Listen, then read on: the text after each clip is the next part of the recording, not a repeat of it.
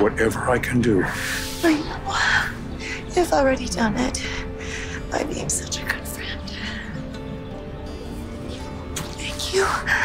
Oh, You all right? I'll be fine. Yeah? Yeah, yeah, yeah. Yeah, I, I'm fine. Don't worry. I'll see you later.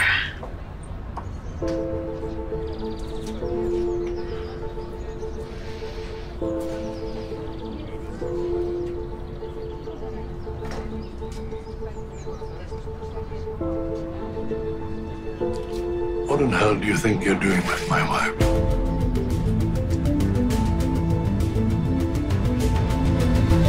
Next on The Young and the Restless. Are you sure you want to sign your life away to this guy?